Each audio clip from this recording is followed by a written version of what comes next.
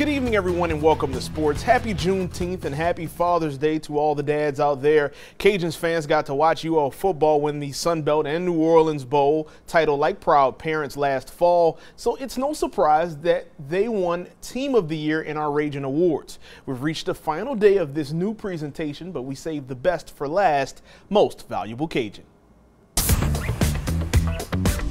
Our final award is last but certainly not least most valuable player. That's a long list at UL across the various sports.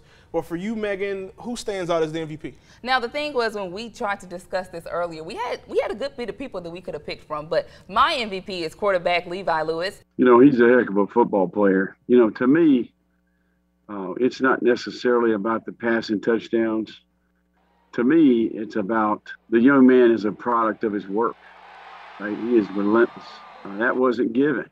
You know, he, he's reaped what he sowed. He played five seasons with the Cajuns. He set the passing touchdown record at 65 last season. He finished his career with 74. And then he also finished second all time in passing records, just about 20 plus yards shy of uh, Cajuns quarterback Jake Delhomme. Yeah, and I mean, that's some legendary company. Whenever you talk Definitely. about being next to Jake Delhomme, passing Jake Delhomme when it comes to the touchdown record.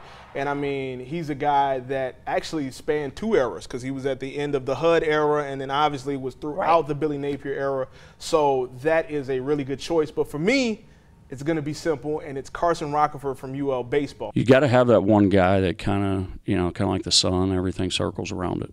And uh, he's been that and that's that's been a saving grace for us for sure. Well, I think he had a really good case for Sun Belt Player of the Year. Entering the postseason, he led the conference in batting average while finishing second in homers, RBIs, and steals. His combination of power and speed was the number one reason the Cajuns reached the postseason for the first time since 2016.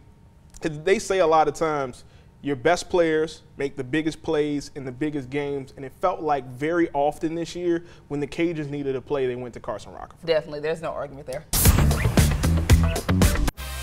So here's how it works for the final time. Go to the sports page on KATC.com to vote.